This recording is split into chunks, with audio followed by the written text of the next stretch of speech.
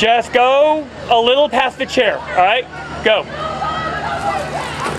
Where is he doing?